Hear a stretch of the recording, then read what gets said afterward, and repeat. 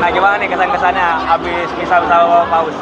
seneng seru terus momen pertama kali juga kan dan ke depannya nggak tahu nih bakal bisa ikut lagi apa enggak semoga selalu sehat biar bisa ke Indonesia lagi Seneng karena ini bakal jadi pengalaman yang luar biasa dalam hidup saya. Bisa aja sekali seumur hidup.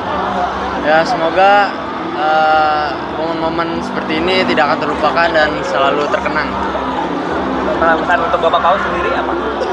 Semoga Bapak Paus selalu sehat, selamat sampai perjalanan perjalanan apostoliknya dan bisa eh, membina 1,2 miliar umat Katolik dengan dengan dengan baik. Kesannya ya waktu tadi siang-siang tadi ya cukup kerasa ya panasnya. Sama tadi pas Rosario juga lumayan kerasa lama. Jadi mataharinya juga lagi panas-panas banget.